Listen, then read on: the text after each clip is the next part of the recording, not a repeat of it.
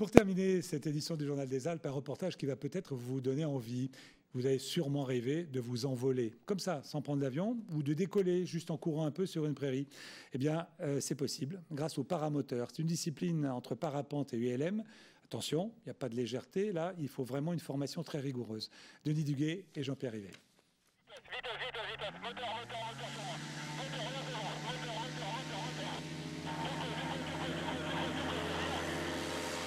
Yannick est parapentiste confirmé, mais en ce moment, il fait ses débuts en paramoteur, une sorte de parapente à moteur. Pour l'instant, il est lâché tour de piste, autrement dit, sous la surveillance permanente de son moniteur, il tourne autour du terrain pour s'entraîner au décollage, aux approches et aux atterrissages.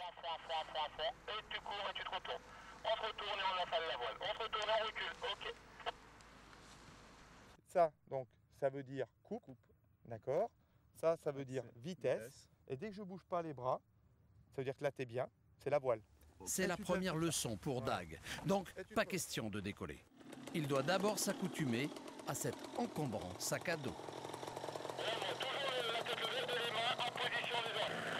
On va pas réunir la voile et le paramoteur en un seul bloc. Euh, au début, on va surtout apprendre tout ce qui est sécurité euh, et tout ce qui est manipulation de ce moteur au sol, là où on vit tous les jours. Hein.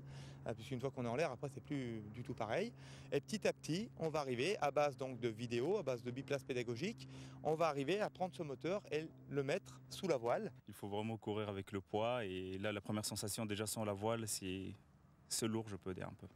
Et la différence euh, qui est positive, c'est qu'on peut décoller euh, sur une piste euh, de 100 mètres, voire même un peu plus. Et pour atterrir, si jamais on, rate notre atterrissage, on peut repartir, revenir pour bien atterrir avec des précisions. C'est ce qui nous fait atterrir avec des précisions, c'est ça. En France, on compte 10 à 15 000 paramotoristes pour 40 000 parapentistes. Mais la discipline séduit de plus en plus car ici, pas besoin d'aller en montagne pour décoller et surtout lorsqu'après septembre, l'aérologie n'est plus favorable aux parapentes, il suffit de rajouter le moteur sous la voile. Octobre, novembre, décembre, bon, on s'habille bien et on peut faire les mêmes durées de vol que l'été, sauf que là, c'est vraiment avec notre moteur. Et puis aujourd'hui, on travaille dans des. Pas un temps, il venait pas trop, c'était le bruit moteur. Il dit ah oui, mais ça fait du bruit. Aujourd'hui, on a des motorisations très silencieuses et ça va être de mieux en mieux puisqu'on va basculer sur la motorisation électrique.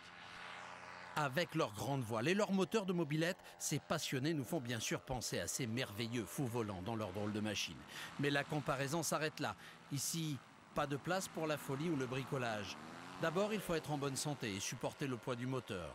Ensuite, comme pour les avions, les hélicos ou les ULM, cette formation est sanctionnée par un vrai brevet de pilote délivré par l'aviation civile. C'est le prix de la liberté en toute sécurité.